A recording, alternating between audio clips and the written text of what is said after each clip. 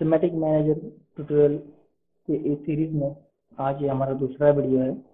तो इस वीडियो में हम आज बेसिक प्रोग्रामिंग स्ट्रक्चर देखेंगे, जो कि सिमेटिक मैनेजर में या किसी भी सीमेंस की प्रोग्रामिंग में यूज़ होता है। तो बेसिकली अगर हम पीएलसी को देखेंगे तो वहाँ पीएलसी में हमेशा दो प्रोग्राम रन होते हैं। एक होता है उसका खुद का ऑपरेटिंग सिस्टम और दूसरा जो रहता है, वो है अपना यूज़र प्रोग्राम ऑपरेटिंग सिस्टम में क्या रहता है? तो एरर हैंडलिंग या फिर रिस्टार्ट हैंडलिंग रहता है update of process image for input and output या फिर मेमोरी ऑर्गेनाइजेशन या फिर कम्युनिकेशन विथ अदर डिवाइसेस या विथ प्रोग्रामिंग डिवाइसेस तो ये सब जो है, वो ऑपरेटिंग सिस्टम हैंडल करता है।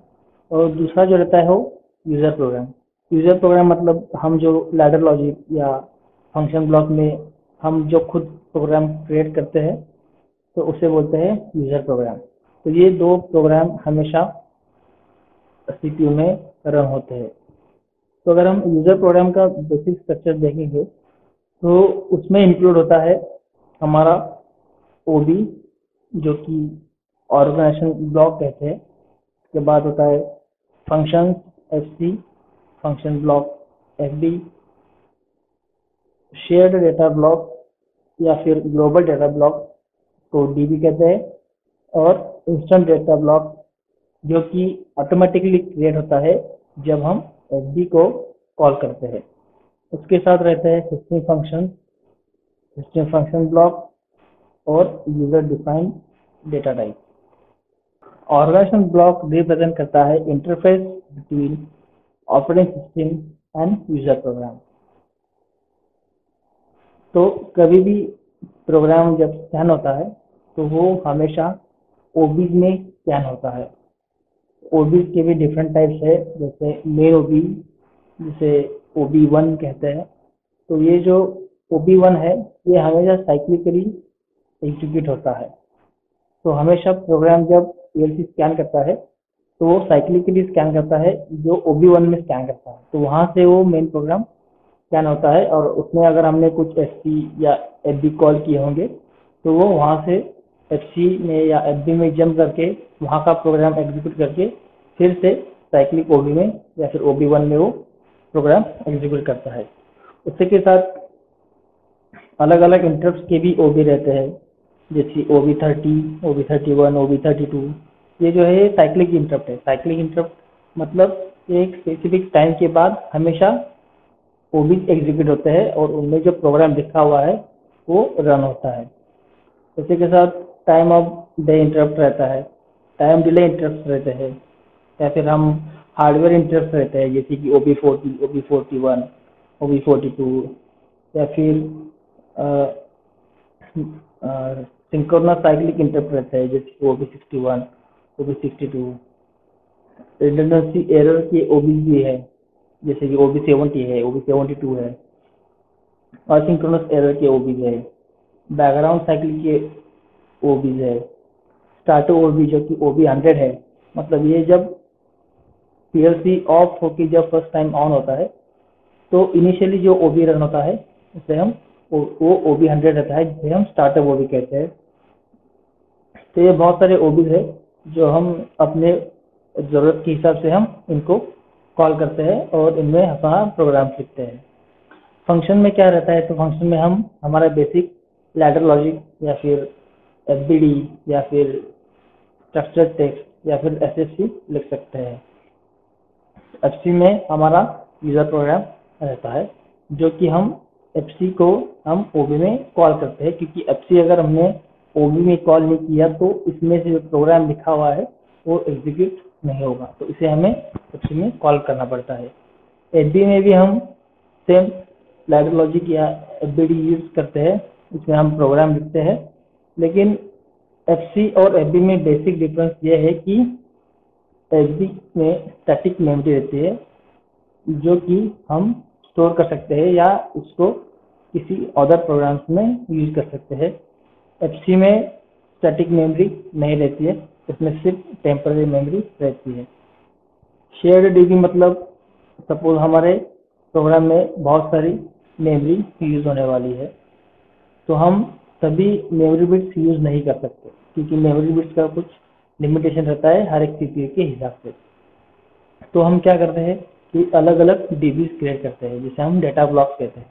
तो उसमें हमारे ज़रूरत के हिसाब से हम डेटा डिफाइन करते हैं। जैसे हमें कुछ इंटीजर्स चाहिए, कुछ बिट्स चाहिए, कुछ फ्लोटिंग वैल्यूज़ चाहिए। तो हम ये सब डेटा हम अपने डेटा ब्लॉक में क्रिएट करते हैं और उसको हम प्रोग्राम में अपने ज़रूरत के हिसाब से यूज़ करते हैं। और डीबी यूज़ करने का और एक फ़ायदा है कि हम मेमोरी को सेपरेट आउट कर सकते हैं। सपोज़ हमारा प्रोग्राम में ऑटो मैनुअल या सेफ्टी के कुछ लॉजिक्स है तो हम ऑटो को लगने वाले जो मेमोरी है, वो हम अलग डीबी में बना सकते हैं। मैनुअल लॉजिक के लिए लगने वाले मेमोरी हम अलग डीबी में बना सकते हैं। तो इस तरह से हम इसको सेपरेट आउट कर सकते हैं। इंस्टेंस डीबी जो है, वो ऑटोमेटिकली क्रिएट होता है जब हम एफ़ को कॉल करते हैं। तो जो स्टैटिक मेमोरी एफ़ का है, वो इसी डीबी में स्टोर रहता है। उसी के साथ उसका टेम्पररी टेम्पररी मेमोरी तो नहीं दिखता। उसके इनपुट आउटपुट जो है, वो भी इस डीबी में दिख जाते हैं। सिस्टम फ़ंक्शन जो है, वो सिमेटिक के खुद के कुछ फ़ंक्शंस है, जिसमें लॉजिक लिखा होगा, जैसे कि टी ऑन टाइमर है, या काउंटर्स है। तो ये ये जो स्टैंडर्ड लॉजिक्स है स्टैंडर्ड ब्लॉक्स है, उनको एस और एस में लिखा जाता है। और उसको हम डायरेक्टली एक्सेस करके हमारे प्रोग्राम में यूज़ कर सकते हैं। यूडिटी यानी यूज़र डेटा टाइप जैसे कि इंटीजर ये एक डेटा टाइप है, या फिर बुलियन या बुल ये एक डेटा टाइप है। वैसे ही यूडिटी ये एक यूज़र डिफाइंड टाइप है, जिसे यूज़र खुद क्रिएट करता है और अपने ज़रूरत के हिसाब से इसको इस्तेमाल करता है। सपोज़ कि मेरे प्रोग्राम में हंड्रेड नंबर ऑफ़ पम्प्स है, जिसका मुझे लॉजिक लिखना है। तो बेसिकली पंप में के लॉजिक में हमारे पास बेसिकली क्या रहता है? स्टार्ट रहता है, उसका स्टॉप रहता है, उसका फॉर सेट रहता है, उसका इमरजेंसी स्टॉप रहता है। तो उसको ये इंस्ट्रक्शन बेसिक इंस्ट्रक्शन चाहिए। तो उनके लिए हमें मेमोरी क्रिएट करना पड़ता है। अभी आप ऐसा कर सकते हैं कि हर एक पंप के लिए अलग अलग अलग लिख सकते हैं। या फिर आप एक पंप का एक बेसिक लॉजिक बना के उसमें एक user defined data type create कर सकते हैं।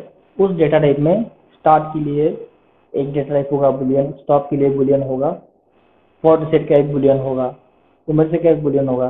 सपोज़ आपकी इसमें स्पीड रेफरेंस देते हैं तो उसमें एक फ्लोटिंग पॉइंट का होगा। तो ये कंबाइन सब मिला के हमने ये यूज़र डेटा टाइप क्रिएट कर सकते हैं और वो यूज़र डेटा टाइप हम जो सौ पंप हमारे हैं तो हर एक के लिए हम डायरेक्टली यूज़ कर सकते हैं। तो जब हम ये डेटा टाइप हर एक पंप के लिए कॉल करेंगे तो फिर हर एक पंप में असाइन करेंगे तो ये ऑटोमेटिकली स्टार्ट स्टॉप इमरजेंसी ये सब आ जाएँगे। तो यहाँ पे हम देख सकते हैं कि हमने O B F B F C D B ये बेसिक स्ट्रक्चर क्रिएट किए हैं।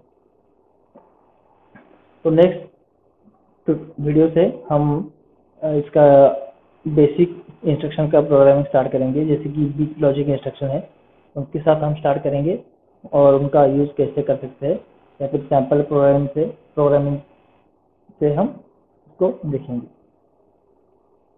Thank you guys for watching this video और अगर आप मेरे चैनल पर नए हैं तो प्लीज़ इसको सब्सक्राइब कीजिए और अपने दोस्तों के साथ भी शेयर कीजिए। Thank you